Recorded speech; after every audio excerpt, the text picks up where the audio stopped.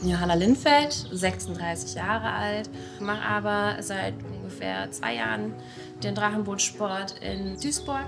Wir sind die Wolfsee Vikings von der Wannheimer Kanu-Gilde. Ich bin durch einen ganz großen Zufall zum Drachenboot gekommen. Meine Schwester hatte ein Probetraining gemacht und hatte mir dann davon erzählt. Ich war seit längerer Zeit auf der Suche nach einem schönen neuen Mannschaftssport vor allen Dingen und gerne auch auf dem Wasser.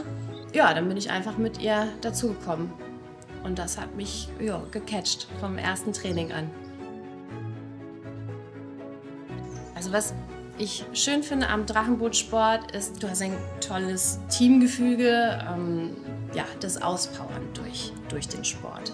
Innenhafenregatta letztes Jahr war schon super spannend. Es war einfach von der Atmosphäre ultra schön. Also Innenstadt äh, Duisburg, da äh, ist schon doch noch mal was anderes, als dann hier auch auf dem See zu sein.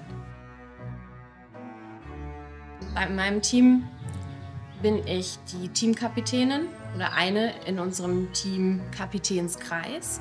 Und äh, wenn ich im Boot sitze, dann bin ich ganz vorne als Schlagfrau auf der rechten Seite.